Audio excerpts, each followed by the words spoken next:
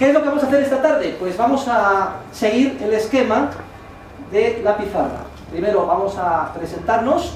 Primero me voy a presentar yo, es decir, pues son ustedes, con los que ustedes se van a jugar los cuartos, y luego se van a presentar ustedes uno a uno. Les tengo que indicar que junto con los alumnos que constituyen el grupo del grado de comunicación audiovisual, vean ustedes que unos señores ya como más rancios, mayores, ¿eh? ganosos, etcétera, que se han puesto más o menos por aquí.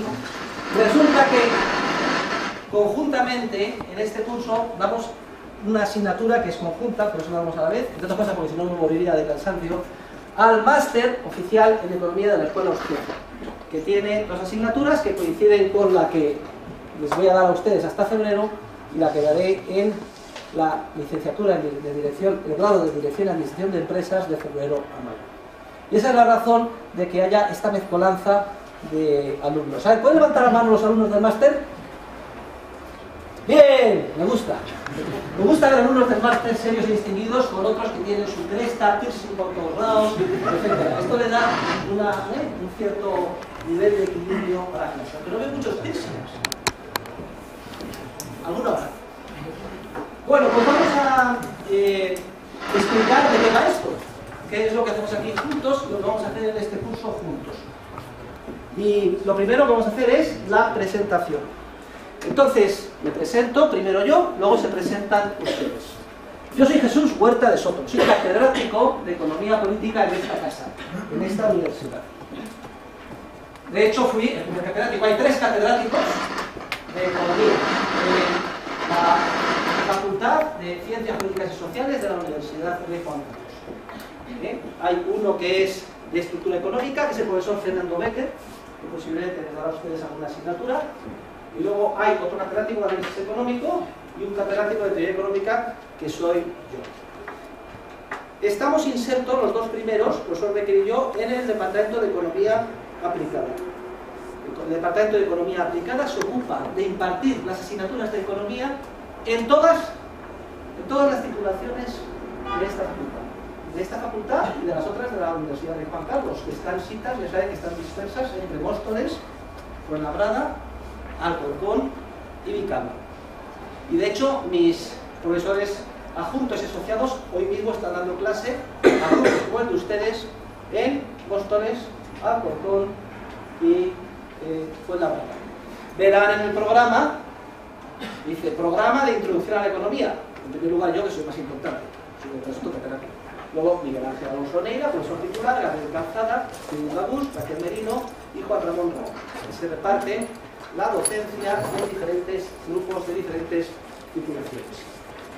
El departamento es un departamento muy amplio, somos casi 50 profesores que nos ocupamos de la enseñanza de la economía, repito, en todas las titulaciones, las licenciaturas a extinguir, los grados que empiezan este año con motivo de la adaptación a Bolonia, todas las titulaciones conjuntas, Derecho, Administración de Empresas, etc. Y todas las titulaciones como las de Comunicación Audiovisual que tienen también alguna disciplina relacionada con la economía.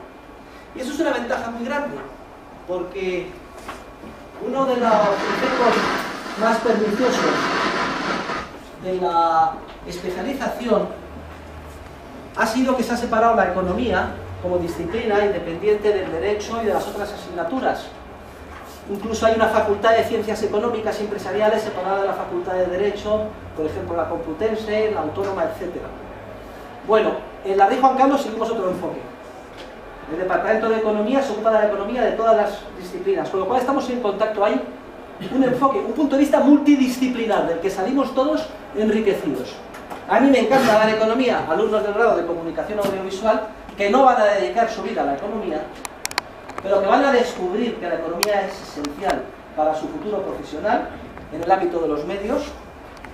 De eso vamos a hablar enseguida, porque la economía no es una, sino una ciencia que estudia los procesos de transmisión de conocimiento, de comunicación. Y dice el profesor, pues sí, lo vamos a descubrir, lo vamos a tratar y lo vamos a analizar juntos.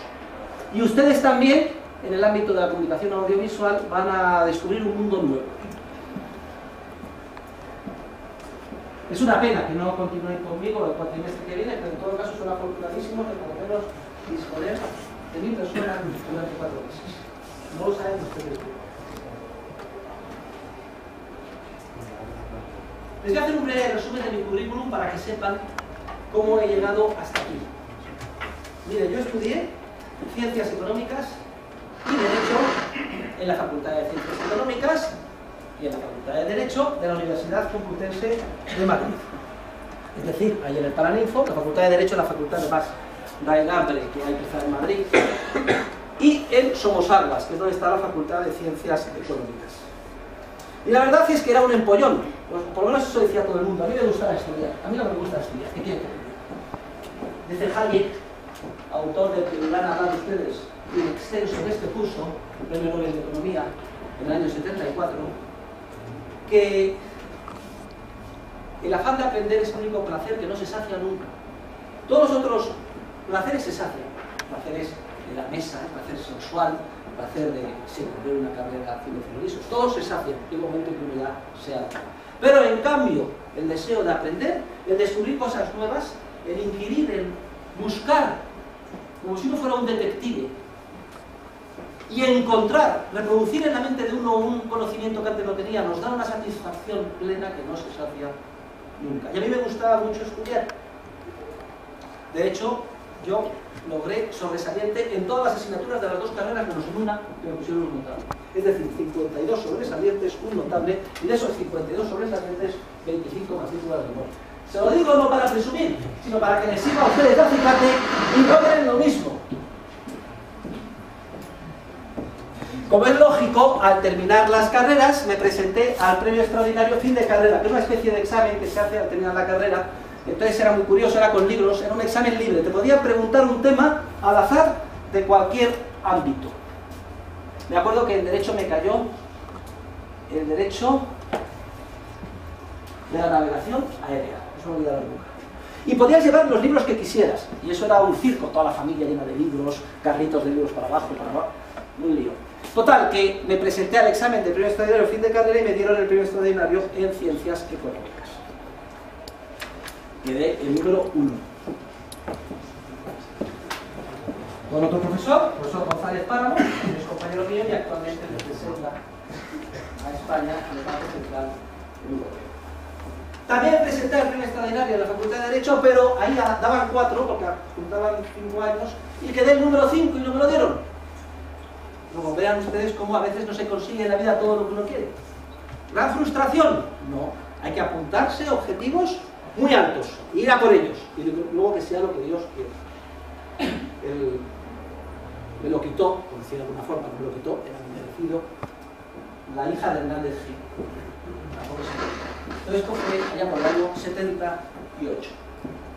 Terminada la carrera, yo hice los cursos del doctorado, que eran dos, tanto en Derecho como en Economía, y elaboré mis tesis doctorales. La tesis doctoral en Derecho era sobre aspectos jurídicos de los planes de pensiones.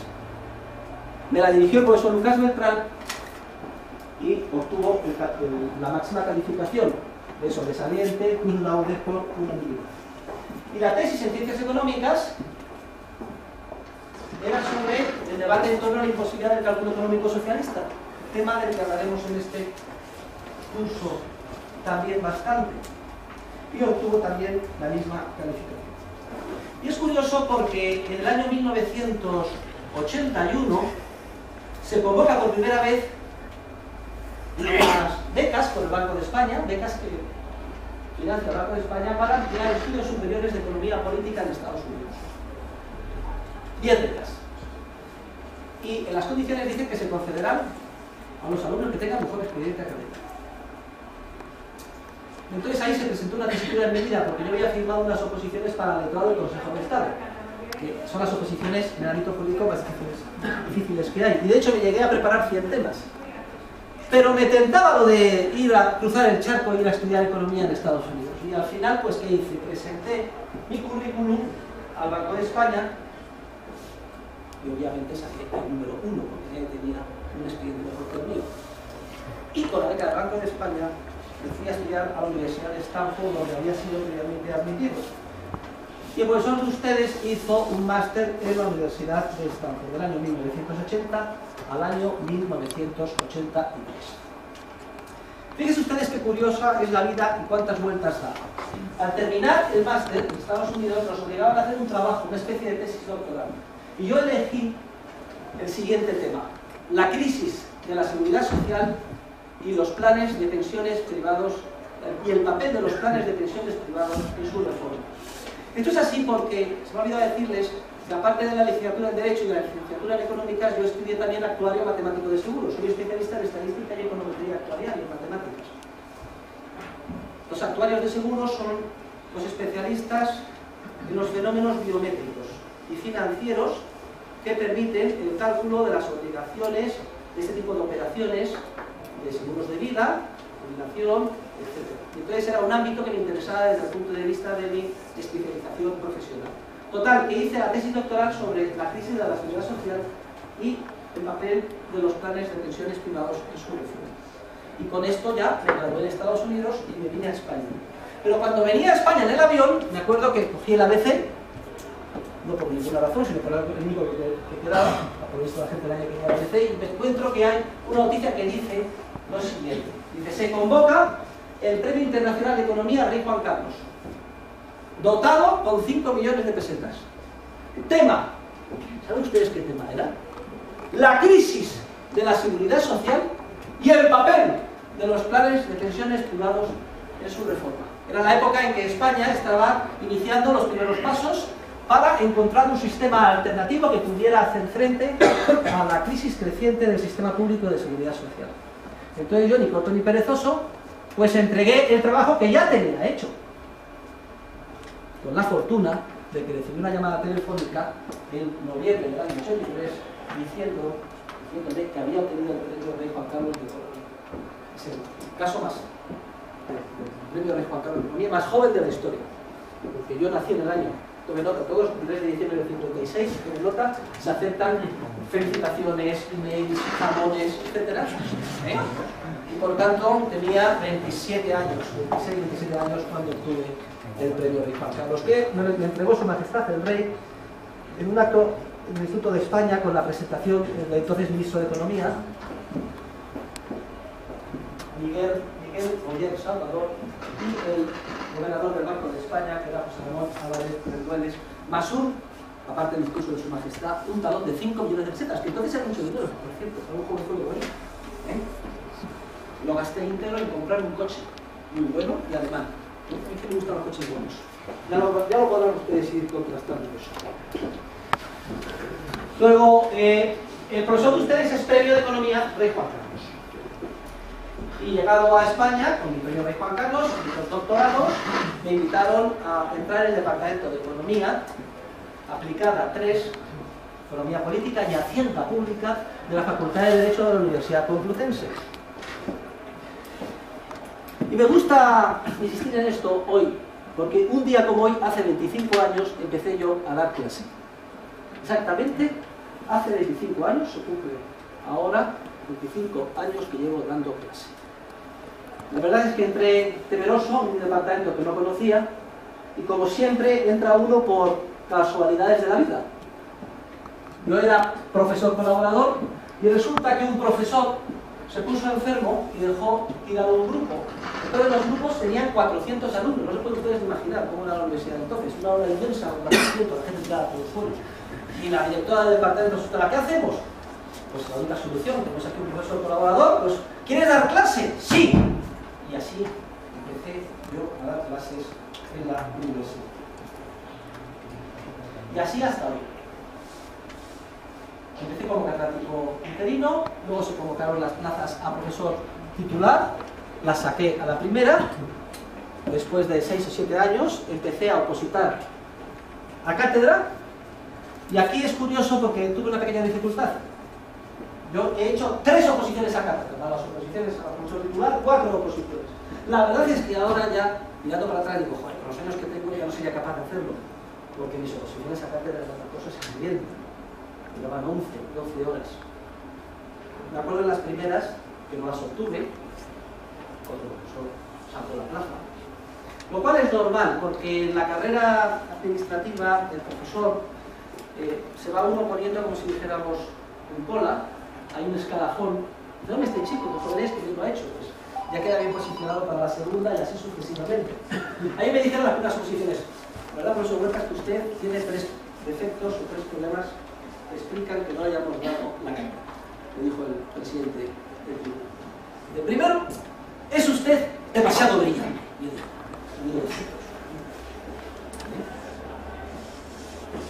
Dice, segundo, obviamente no va a sacar usted la cátedra directamente en Madrid. Todos los que hemos estado en el tribunal hemos perdido muchos años por provincias. ¿Dónde se ha visto eso de sacar la cátedra directamente en Madrid? Y en tercer lugar, su enfoque de la economía autonomadista y multidisciplinar no encaja plenamente con el que damos nosotros, que es más propio de ingenieros sociales especializados en matemáticas. Fueron las primeras cosas.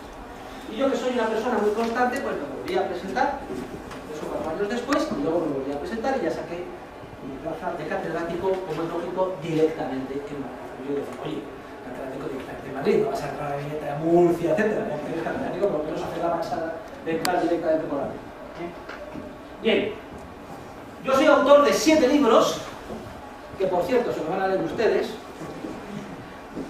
Aquí no hay por apuntes. Lo comentaba antes con algunos compañeros que se estaban Hay un viejo adagio, dicho español, dice cada maestrillo tiene su libreño. Bueno, todo profesor que diga no hay libro, son mis apuntes y unas transparencias. Entonces aparece como un genio. Este o estas son unos genios. No genio, crea. No se lo crean. Todo lo han copiado previamente. Lo que pasa es que no le dicen ustedes de dónde para que no se note. Yo en esto está clarísimo, les voy a decir las fuentes, porque entre otras cosas las escrito. Y verán que hay una identidad plena entre lo que dice el libro y lo que dice el profesor, porque lo he parido yo el libro, nunca mejor dicho, todo para las mujeres que han tenido hijos. Lo he gestado yo el libro, he sudado, he hecho yo el esfuerzo de crear el libro, o los libros. También he escrito muchos artículos en revistas científicas, tienen ustedes en mi página web, tomen otra página web que es Vuelta de Soto. Toda mi obra científica publicada hasta hoy.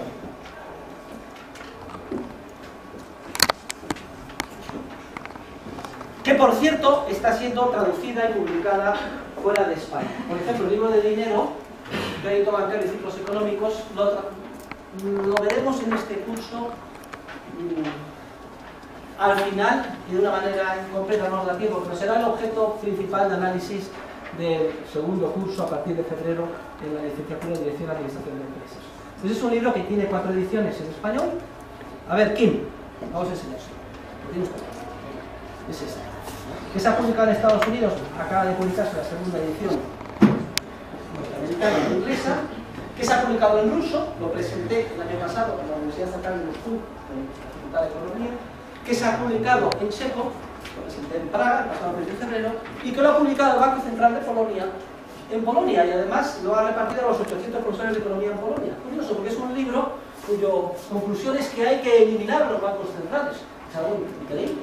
Que el Banco Central de Polonia quiere hacerse la de aquí y haya publicado el libro. ¿eh? Y tengo que ir a Polonia el día 28 de octubre a presentar.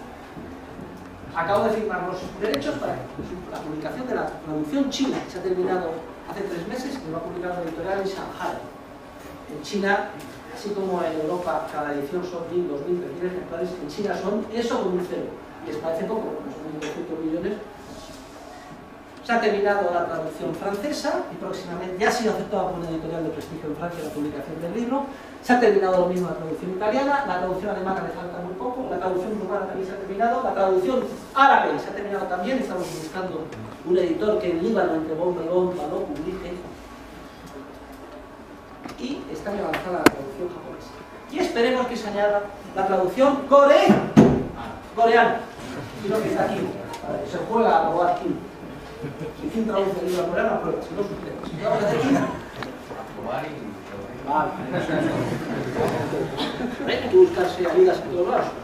Uno es coreano, está Carlos, desesperado, con la economía, y el profesor que es liberal le dice, muy sencillo, si no se escribe coreano pruebas, y si no,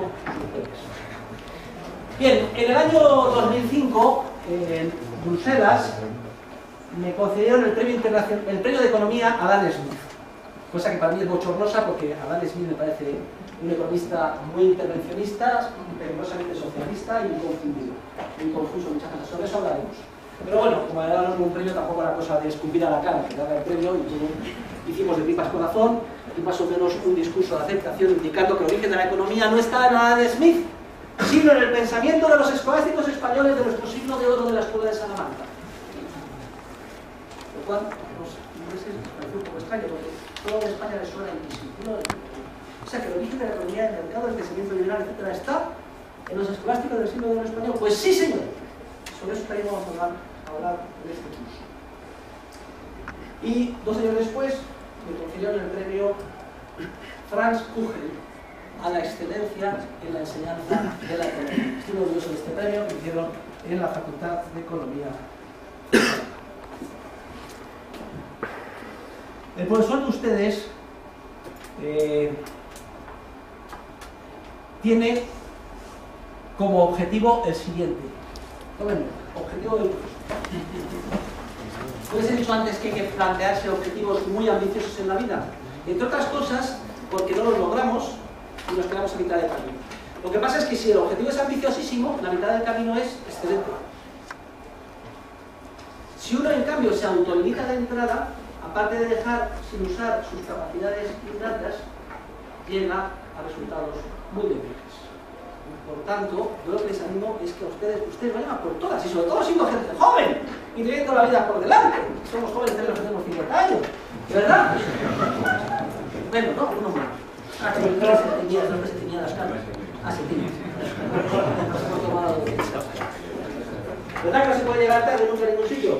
Vale, bien. Entonces, objetivo del profesor. Miren ustedes, ¿qué objetivo más poco ambicioso? Mi objetivo como profesor de ustedes es el siguiente. Yo pretendo llegar a ser el mejor profesor que ustedes hayan tenido nunca. Ese es mi objetivo.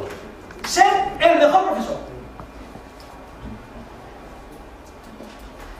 Y corresponderá a ustedes iniciar si logro total, plenamente, parcialmente, ese objetivo cuando termine el curso. Yo he tenido unos 70 profesores en mi vida, desde que empecé primero en una clase que di fue de Derecho Romano y luego de Derecho en octubre del año 73. Profesor año tercero. Unos 70 profesores, entre las tres carreras, Estados Unidos y el doctorado. 70 asignaturas, 70 profesores y estando sentados como están ustedes sentados ahora. Observando a mi profesor observando lo que me parecía bien y lo que me parecía mal, lo que creía que era un acierto y lo que creía que era un defecto. Y pensando ya para mí, mis adentros, hombre, esto que hace, me gustaría, si alguna vez yo tengo el privilegio de dar clase, hacerlo yo también. Yo lo que he pretendido es destilar lo mejor de aquellos que me han enseñado algo, añadirle de mi propia cosecha, mi propia personalidad y entregárselo a ustedes y a los que vengan después de forma enriquecida. También les tengo que decir que mi manera de dar clase es una manera muy influida por la manera de dar clase en Estados Unidos. No se parece nada a la manera de dar clase tradicional en España. Las clases en Estados Unidos, en las universidades punteras, son todas clases muy dinámicas. El profesor es una especie casi de actor, es un showman. ¿Verdad los americanos todo esto, ¿eh?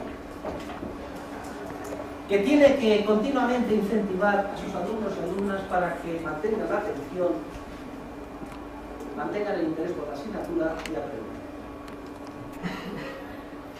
Mi filosofía de la enseñanza se resume en cuatro conceptos, o menos. Filosofía de la enseñanza del profesor Montareso.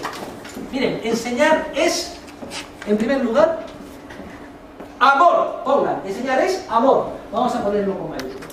Amor. Porque obras, queridos alumnos, son amores y no buenas razones. Enseñar es amor.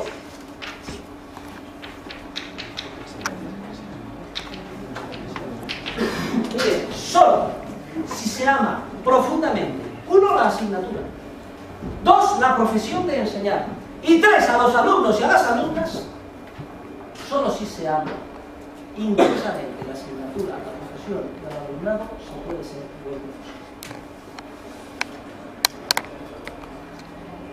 Miren, A mí lo que más me gusta es enseñar. Yo cuando vengo a clase, vengo pensando que es un privilegio el poderles dar, darles a ustedes clase. ¡Qué suerte he tenido! De tener a 50 o 60 personas ya relativamente maduras que estén, que vengan a clase, que sigan un programa, que confíen en mí y que estudien bajo mi dirección. Ahora piensen ustedes, vamos a hacer un poquito de imaginación. Imagínense, ¿quién será mejor profesor? El que viene a clase pensando a sus adentros lo siguiente. Joder, qué coñazo. Otra hora con estos bestias A enseñarle las mismas tonterías. Para los cuatro pedras que me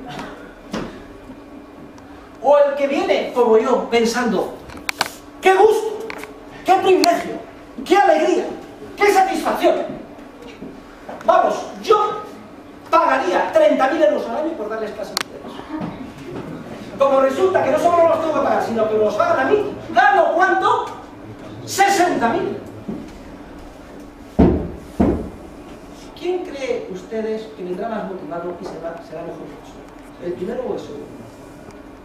Obviamente el segundo, o la segunda, si es. Y lo mismo que les estoy diciendo en relación con mi profesión como profesor, ustedes aplíquense el cuento a cualquier otra actividad que lleven a cabo en su vida. Como estudiantes, el estudio. Ser estudiante es una profesión también. Y el estudiante que por la mañana suena despertador, joder, me a las 6 de la mañana por el botellón. Hoy no me puedo levantar. Estudio por las asignaturas. ¿Qué hago yo en esta carrera? ¿Qué hago aquí en esta carrera? Ni cálmalo, pero si esto no me interesa para nada. No. Si ustedes quieren triunfar en esta carrera, tienen que amar la carrera. Pensar que es un privilegio. Una suerte que puedan estudiar. No lo den, por supuesto. Habrá profesores mejores o peores. Pero desde luego han tenido la suerte de no, por no estudio. Ya con eso sin que supongan buscado alguno para el resto de los compañeros que le dan a ustedes clase. Tienen que amar enormemente lo que están. Pensar que los años como estudiantes son irrepetibles. Que pasados estos 5 o 6 años no volverán en la vida. Saquen el máximo del jugo en cuanto al proceso de aprendizaje, con interés, con intensidad, viviéndolo. No está peleado esto con el divertirse. Se divierte uno incluso más cuando uno tiene el curso controlado, hace el esfuerzo, va al día, sabe que tiene el control de la carrera, y entonces los fines de semana que sale, cuando tiene una oportunidad, se divierte más porque está totalmente disipado en tonterías y pierde la vida, se le escapa de las manos. Todo lo que no puedan hacer ahora no se presentará, es un tranvía que pasa y no volverá otra vez. Aprovechen la oportunidad. Luego, amor. Solo amando profundamente la asignatura se puede ser un profesor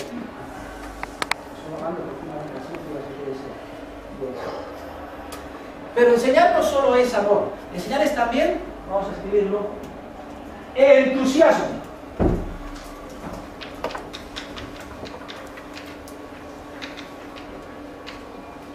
Enseñar es entusiasmo. ¿Y qué es el entusiasmo? Bueno, yo tengo una clase, es la última del curso, la que doy los 10 secretos para tener éxito en la vida, una clase muy Está por ahí grabado. Los 10 secretos para tener éxito en la vida. Entonces, uno de ellos es el entusiasmo. El entusiasmo es como una especie de, pila interior, de energía vital interior que tiene uno y que le mueve a hacer todo lo necesario para lograr sus objetivos. Es esa fuerza interior que nos moviliza en pos de lo que queremos y de lo Entusiasmo. El profesor de ustedes, hablo de la que es un profesor netamente entusiasta. Hombre, yo a lo mejor me falla algo el entusiasmo, porque ya tengo 52 años, llevo 25 años dando clase, he dado 5.000 alumnos, y es ley lógica que me falle el entusiasmo, pero procuro que me falle lo menos posible. Y yo quiero, el entusiasmo es como la energía de una pila, ¿eh? quiero trasladarles a ustedes el entusiasmo del profesor, de manera que cuando salgan de clase, salgan todos como si tuvieran una guindilla en el culo. ¿Sabe usted lo que es una guindilla, Ismael? Imagínenselo, una guindilla picante. Todos corriendo con entusiasmo a comerse el mundo ahí fuera. Eso es el entusiasmo. Y el secreto del éxito en la vida es hacer todo lo que hagamos con entusiasmo. Un noviazgo, llevarlo con entusiasmo. Una carrera, con entusiasmo. Una creación artística, con entusiasmo. Ayudar a una persona necesitada, a una persona mayor en sus necesidades, con entusiasmo. Hay que llevar la cruz de uno con entusiasmo. Lo que nos joroba, nos duele, nos es difícil o supone un sacrificio, con entusiasmo. Llevar con entusiasmo lo que nos gusta no tiene ningún mérito. Esto es torear el toro con entusiasmo. El toro tiene cuernos. ¿Eh? Aquí hablaremos bastante de toros. Mi abuelo, un lástima, Pedro Ratorero, bandillero de, bandillero de Belmonte. ¿Eh? No hace falta todo el deporte que estemos teniendo de ellos. Pero enseñar no solo es amor y entusiasmo. Enseñar es también claridad. Esto es una aportación de Gregorio Marañón. Claridad.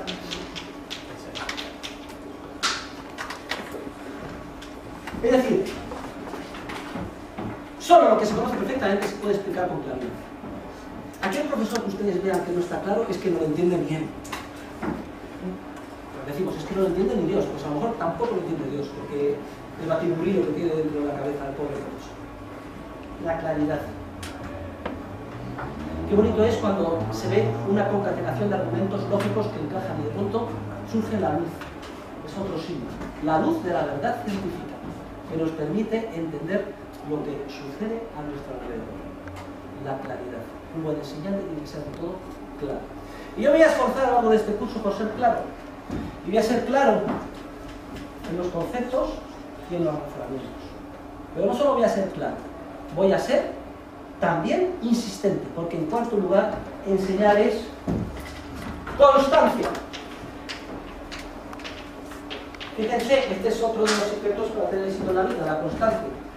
Ya lo verán, que tengan ganas y no puedan aguantar que salga con el disco de las clases y vaya a la última clase. Todos los años digo, mire, es tan importante la constancia como secreto del éxito, decía, ¿eh? decía yo, que si tuviera otro hijo, otra hija, le pondría por nombre Constancia. Resulta que de tanto decirlo tuve una hija. Yo no os he dicho a ustedes, pero estoy felizmente casado y tengo seis hijos. Niño, niña, niño, niña, niño, niña. Tres años de diferencia entre cada uno. Y unas fórmulas matemáticas, en que tenga interés, fórmulas. Total, que nació mi hija Constanza, me acuerdo que está en el año 95, está yo en las segundas oposiciones a cátedra, la tuve que ver Constanza. Se llama Constanza Fátima. Constanza Fátima, ¿quién era Fátima? ¿La hermana de? No, ¿quién era? Bueno, Constanza Fátima. Enseñar es amor, entusiasmo, claridad y constancia. Hay que ser muy repetitivo. Verán ustedes cómo yo repito los conceptos una y otra vez, desde diferentes puntos de vista, desde diferentes ángulos, con ilustraciones distintas, de manera que el argumento esencial se les haga a ustedes claro y evidente.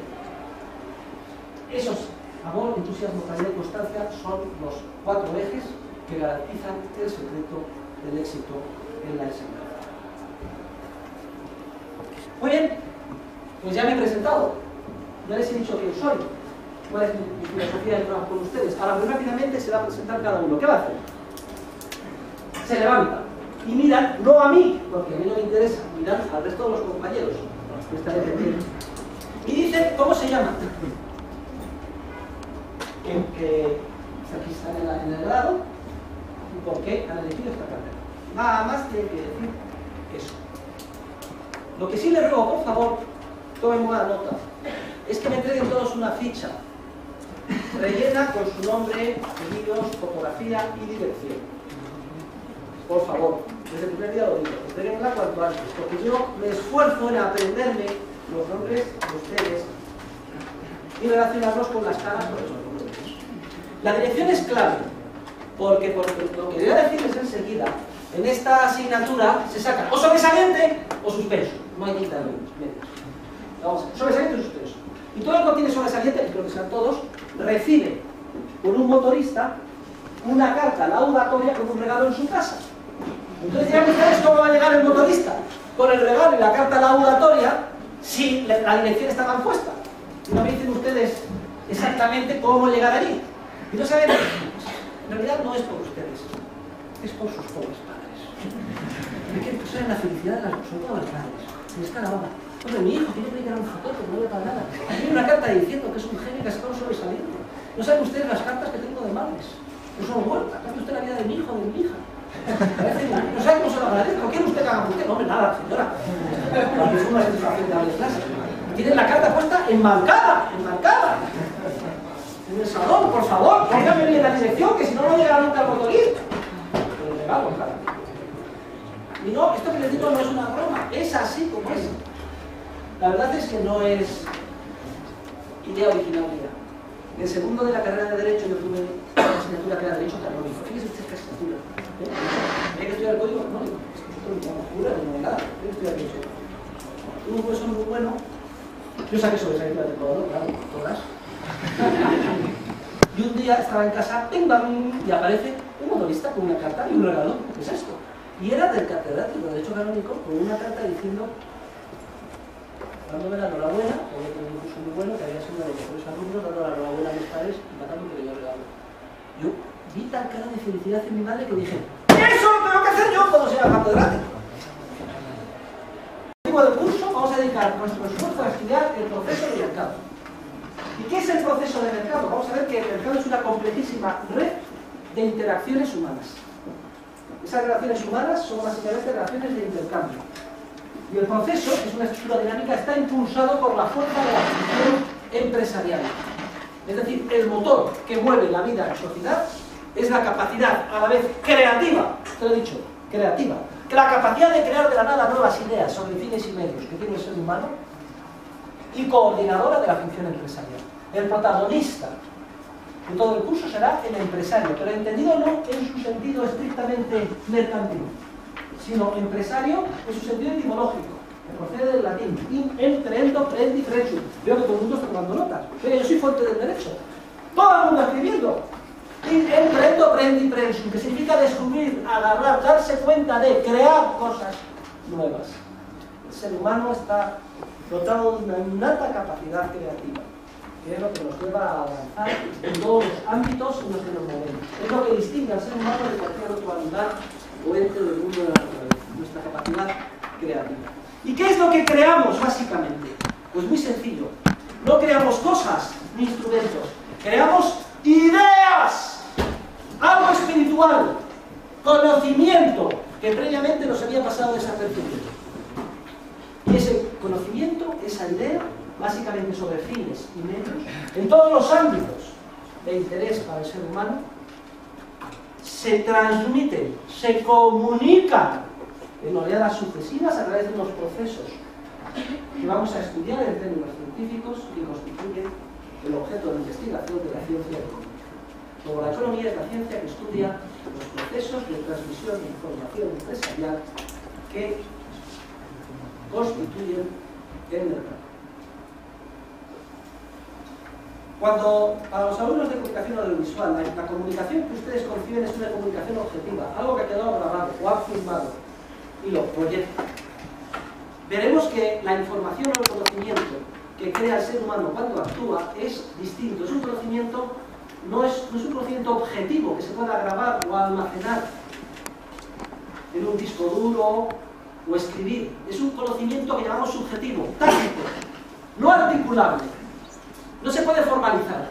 Sin embargo, es un conocimiento real, es el conocimiento más importante para tener éxito en la vida. Estudiaremos con detalle las características del conocimiento que genera el ser humano cuando actúa.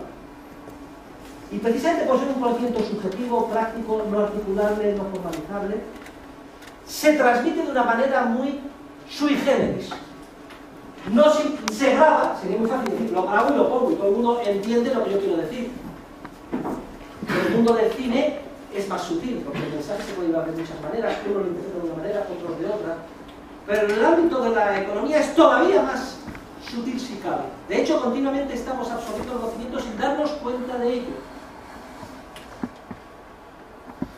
De pronto un recurso de bien escaso, el precio sube y la gente automáticamente reacciona consumiendo menos, que es precisamente lo que tiene que hacer la sociedad para afrontar esa situación de escasez. Se ha transmitido el conocimiento de, ojo, hay menos recurso, economiza lo mejor, sin que las personas participantes se den cuenta de ello, aunque terminan actuando como si se hubieran dado cuenta. Es decir, el conocimiento se transmite en oleadas sucesivas a través de unas señales o mensajes, muchas veces materializados en precios, que hacen posible que el comportamiento desajustado de los seres humanos se coordine de forma espontánea y sin que nadie lo dirija desde arriba. De hecho, veremos que cuando se empeñan los gobernantes en mejorar el proceso de intervenirlo, el resultado es la descoordinación del desajuste en los casos. Y ese es el mensaje del curso. El estudio de que hay procesos espontáneos, claro, no dirigidos por nadie, que hacen posible la vida de la sociedad. Luego es un curso sobre transmisión y comunicación de conocimiento, de conocimiento empresarial. Pues a eso vamos a dedicar, ese es el objetivo del curso. Y que decir tiene es esencial. A los alumnos de la licenciatura de, Administración de Empresas les digo, ustedes que están estudiando empresariales, pues miren, el protagonista del curso es el empresario. ¿Entienden ustedes la importancia para ustedes? Todo el mundo, sí, obvio. Pero a ustedes que les digo, del máster, ustedes que estudian comunicación audiovisual, pues el curso trata sobre los procesos o mecanismos de comunicación, de conocimiento, creativo de tipo empresarial que genera los seres humanos cuando Luego la importancia de la conexión con lo que están estudiando es directa, esencial. Más que eso, vital. Es que con la concepción que les voy a dar de la economía va a cambiar su concepción del fin. Del mensaje que tienen que mandar van a, aprender que lo que la gente entiende y recibe o interpreta es distinto de lo que ustedes Se les va a abrir un universo nuevo en el ámbito de la comunicación. Gracias a la economía. Lo ha dicho este señor, a lo mejor de el segundo por la derecha atrás, pero tenía plenamente razón. Y otro compañero ha hablado de la creatividad, que es el otro eje sobre el que pilota el curso de economía.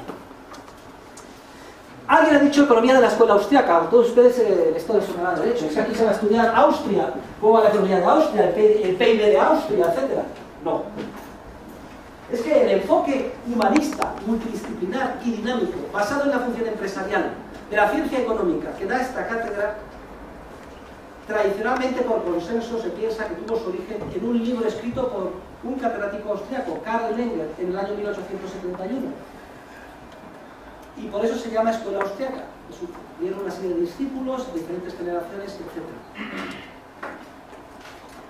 Sin embargo, el profesor de ustedes ha demostrado que Karl Menger lo que hizo fue retomar una tradición mucho más antigua, que puede retrotraerse hasta las contribuciones de los escolásticos de nuestro siglo de oro, de los siglos XVI y XVII en la Universidad de Salamanca, también en Coimbra, Complutense, etc. Y por eso yo he propuesto cambiarle el nombre a la escuela y de llamar la escuela austríaca, deberían pasar a denominar la escuela española, española, española, española. De hecho, España, en el siglo de oro, era España, era Alemania, era Austria. Austria en alemán, etimológicamente significa Osterreich, es, parte este del imperio. ¿Y el imperio cuál era? El imperio español. Claro que si esto lo, lo digo en Austria, dicen, no, no, no, el imperio era austriaco, ustedes los españoles eran el extremo occidental. Bueno, todo se puede mirar en la tierra pero era el imperio español, solo estaba aislada Francia rodeada de fuerzas españolas, Siglo de oro español, que seremos capaces de reproducir en el siglo XXI. de las Españas. ¿eh? Sobre esto Luego, el objetivo del curso está claro la importancia también. Y suficiente es con lo que he dicho en este momento. Ya lo iremos descubriendo y desarrollando juntos paulatinamente en las próximas clases. Vamos a ver, ¿cómo se prepara la asignatura? Esto es muy importante. La asignatura se prepara de la siguiente manera. Vamos a seguir el esquema de preparación que se da en las universidades americanas. Se prepara en base a las lecturas. Todos los días hay que venir a clase con unas lecturas hechas. ¿Y cuáles son las lecturas que hay que hacer? Pues muy sencillo. Todo el mundo coge su programa y lo abre por la página número 8. ¿Va a ver todo el mundo el programa por la página número 8? Pues ahí dice, cada día, qué lectura hay que hacer y de dónde es. Si cogen ustedes martes 6, ven que hay estudio preliminar, introducción, tema 1, el orden en acción, y justo antes del jueves 8, entre paréntesis, ¿qué dice? Mises. Vean ustedes, ¿qué dice? Mises. Ahora, desde la página 1 a la 35, solo. Mises, página 1 a 35, solo. Pues lo que tienen ustedes que hacer es leerse eso. La única diferencia es que había que hacerlo para el día 6 de octubre. Pero cuando yo hice el programa en agosto, todavía no me había dicho el rector que empezábamos el día 22. Luego, por tanto, a partir de hoy ya empiezan con las lecturas. Vamos a hacer las lecturas correspondientes a lo largo de esta semana y la que viene hasta el jueves 15. ¿De acuerdo? ¿Cuáles son los libros de los que hay que hacer las lecturas? Que todo el mundo tiene que hacerse con este libro. Hacerse con el libro es sinónimo de comprar el libro. ¿Y por qué todo el mundo tiene que comprarse el libro? Porque el profesor sigue una comisión, porque le ha escrito él y le da el 10% de derechos de autor. No. Todo el mundo tiene que tener el libro con la siguiente razón. Porque somos universitarios. Y todo universitario tiene que formarse su biblioteca personal. No hay nada más triste, más penoso, que un universitario que llega al fin de la carrera y no tiene ningún libro. Los apuntes dispersos, los tres libros que tenía un año justo de perras y los vendió, otro los vendió, otro había tenido la carrera en pelotas. Vergonzoso. Todo lo contrario. Mis alumnos todos haciendo su biblioteca, pero no solo en relación con mi asignatura, con todas las otras asignaturas. Un sitio privilegiado en casa, que veamos cómo va creciendo el acervo de los libros de texto de las asignaturas y de los libros recomendados. Y luego cuando nos vayamos de casa, nos pasemos, nos independicemos, nos mudemos, trasladar nuestra biblioteca, un pequeño tesoro, que en el ámbito profesional que nos haya tocado vivir, en una empresa, ante un problema concreto, etc., nos acordaremos, a eso lo dimos, un repaso. La satisfacción además, pasados los años, de ver esto lo subrayé hace 15 años, incluso aquí una gota de sudor, incluso de sangre. Una diligencia. Eso da una satisfacción enorme. Y los libros los quiero desvirgados, es decir, machacados, es decir, subrayados, es decir, comentados y con notas al margen. No quiero libros vírgenes, que parece que no se han estudiado nunca. Me encantaría que vieran ustedes cómo está bien Los libros que tienen que tener todos son estos tres. El primero, tomen nota. No hace falta que lo dice el programa, ¿eh? Socialismo, cálculo económico y empresarial. Todo el mundo hoy alisa a la librería a comprarlo, y si no, mañana por la mañana. El autor, un servidor. El libro del texto de la asignatura, La acción humana, Tratado de Economía, Ludwig von Mises. Es este señor viejecito tan simpático que tiene en la portada. La acción humana de Mises, un buen tocho, 1200 páginas, cójalo, cójalo. Es un orgullo llevar a Mises. Mises es el que trae todos los días a, la universidad, que lo vean en el metro, que lo vean en el autobús, hacer una película sobre Mises. ¿Por qué se titula el tratado de Mises La acción humana?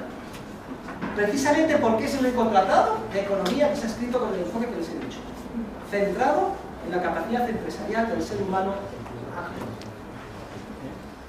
y luego con carácter complementario, en varios, bastantes de los temas, utilizaremos las lecturas de economía política, que las he recopilado ya, yo, que están en tres. Sobre todo en este curso utilizaremos el volumen 1 y el volumen 2. Todo el mundo se va y se compra el libro. Todo el mundo. Ahora bien, si hay alguien que se encuentra en una situación desesperada. El padre, desempleo, el padre, la madre, el tío, la graduación, hambre física, etc. Y no puede comprarse el libro. Que venga en, a solas. Decir, aquí venga, que me encuentro situación. Me lo diga y yo le regalo el. ¿Está claro? ¿Está claro? Luego todo el mundo con el libro. Y todo el mundo tiene que traer el libro a clase según estableciendo las lecturas, porque los seguimos de cerca, los comentamos de cerca. Solamente si hubiera alguna copia algún día, tienen ustedes ejemplares en la sala de lectura. ¿Cómo se estudia? Tomen nota. Les voy a enseñar a estudiar. Tomen nota. ¿Cómo se estudia? Shh, todo. ¿Cómo se estudia? Es muy importante. Miren, la universidad solo tiene un secreto para triunfar en ella. Una, ir al día y dos, estudiar. Pero ¿qué significa estudiar? ¿Cómo se estudia? Para estudiar hay que hacer lo siguiente. Uno, tomen nota. Leerse rápidamente de cabo a rabo el tema en cuestión. Es lo que yo les exijo que ustedes hayan hecho con carácter previo antes de venir a cada clase. En el resto de las asignaturas, lo primero que tienen que hacer es leerse. ¿De qué va el asunto? El tema, el capítulo del libro, los apuntes, lo que sea, leerlo. Y lo leen y subrayen lo que a ustedes les parezca más importante. Pero rápidamente. Punto número dos. Una vez que lo han leído, tienen que memorizar lo que han leído. Memorizar. Anda, pero este profesor es un troglodita. Pero no nos han dicho que en Bolonia ya no hay que memorizar, que todos son trabajos en equipo, que todo es buenismo, que todo es sale por espontáneamente. Pues no, señores. El estudio exige sufrimiento, disciplina, esfuerzo y sudor. Es decir, que hay que, mírenos todos, memorizar. ¿Y cómo se memoriza? Les voy a explicar. Memorizar se hace de la siguiente manera. Se lee uno el tema en cuestión. Se cierra y en voz alta se reproduce verbalmente lo que uno ha leído. ¿Saben ustedes lo que pasa la primera vez? Que al segundo concepto se van a quedar parados. No se acuerdan y no saben seguir. Entonces, ¿qué hacemos?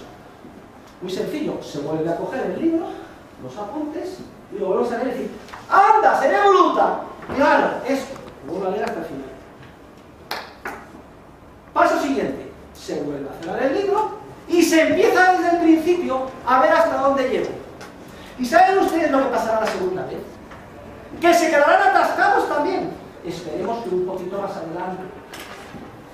¿Qué hay que hacer? Se vuelve al libro, se vuelve a repasar del principio hasta el final, lo vuelven a cerrar y empieza desde el principio hasta y se quedarán atascados y así la cuarta, la quinta, la sexta, hasta que sean capaces por sí solos de reproducir las ideas esenciales correctamente concatenadas con el lenguaje y el vocabulario adecuado. Y esto les va a llevar tiempo, sobre todo al principio. Conforme lo hagan, más a menudo cogerán los hábitos de memorización y cada vez les será más fácil. Y quien habla de memorizar un texto jurídico o una serie concatenada de ideas de economía, habla de reproducir una demostración matemática. En el ámbito de las matemáticas, cuando hay problemas, aparte de esto, hay que clasificar los problemas por tipos y tenerlos bien identificados. El secreto es que no se puede llegar al examen a improvisar. En el examen inmediatamente hay que detectar, este problema es de este tipo, o me han preguntado tal pregunta, y las ideas son estas.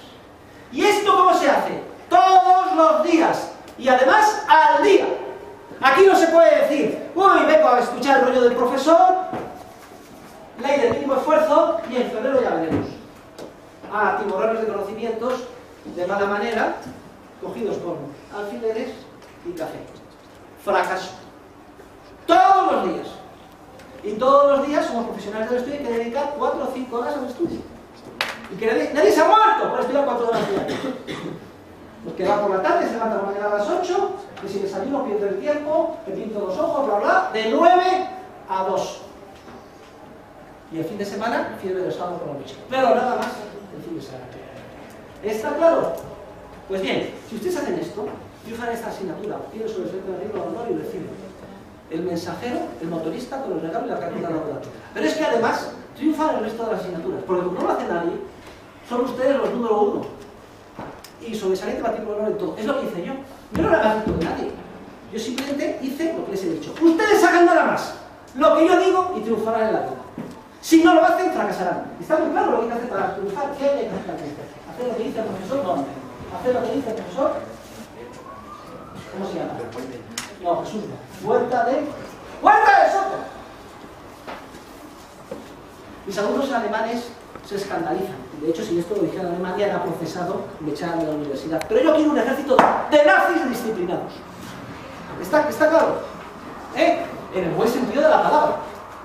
Que hagan ustedes lo que digo yo. Y nada más, no hay que pensarlo.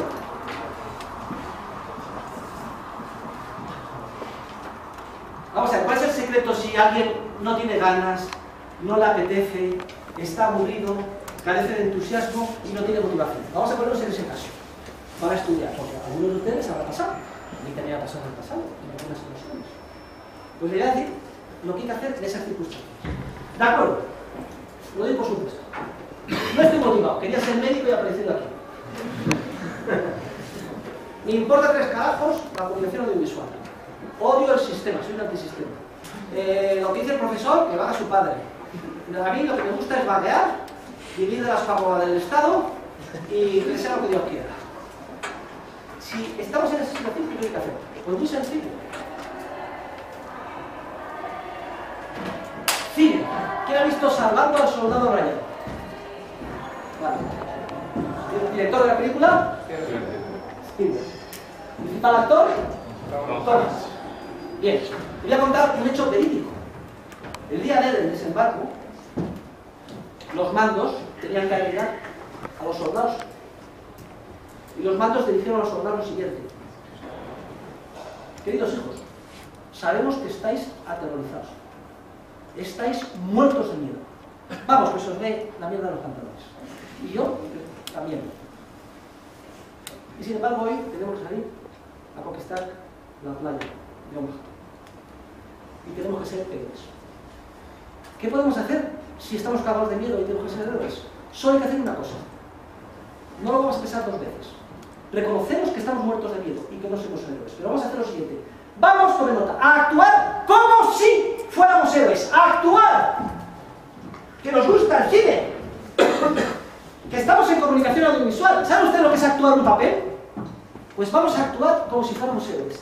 Por tanto, que cada uno mentalice en su mente, piense, ¿qué es lo que haría un héroe en el momento en que se baje el pantalón de la barcaza? Y sin más pensarlo, actúe como si fuera un héroe. Y seréis héroes. Y ese fue el milagro. Miles y miles de soldados atemorizados salieron a la playa actuando como si fueran héroes. Y fueron héroes. Y salvaron a Europa. Luego, por tanto, cuando me levante por la mañana, todo me parezca un mundo, no tenga fuerzas, que falle el entusiasmo, no pueda con el universo que me rodea. ¿Qué es lo que tengo que hacer? Pensar. ¿Qué es lo que haría una persona motivada? Yo qué sé. Dar un salto de la cama, abrir la ventana y decir, ¡me como el mundo! Pues en ese momento, si me pensando hacerlo, dar un salto, abrir la ventana, ¡me como el mundo! Y empezar a actuar como si estuvierais motivados. Y estaréis motivados. Delante del libro, aburridos y sin ganas para estudiar, inmediatamente que se os la luz roja, lo que dijo el profesor, ¿qué es lo que haría? Voy a actuar como si fuera un estudiante entusiasta. E inmediatamente empieza a representar tu papel. No le des más vueltas, no te comas el coco, no pienses en nada, actúa. Un acto. A la media hora ya eres el estudiante número uno. Porque la vida es el mundo y todos actuamos. El primero, yo. ¿Está claro? Oiga, pues entonces, si me sacas sobresaliente, que son ustedes idiotas. Hay que hacerse la de aquí.